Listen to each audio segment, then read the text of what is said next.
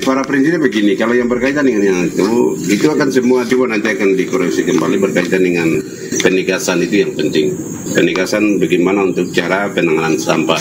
Nah, berkaitan dengan yang itu fasilitas sudah diberikan ke lurah-lurah, tapi sampai dengan saat ini kan belum maksimal ya penanganannya. Sehingga itu dimanfaatkan ya dengan lurah-lurah yang baru kemarin dilantik itu berharap untuk manfaatkan fasilitas yang ada. Kepala lurah yang sudah mungkin ada, ada sudah pindah di tempat lain atau ditugaskan di tempat lain ya, maka dikembalikan itu karena itu asetnya lurah yang ada di situ. Jadi sudah berikan bantuan seperti ya dimanfaatkan untuk bagaimana untuk mengangkut mengangkut sampah-sampah yang ada di wilayah itu masing-masing begitu.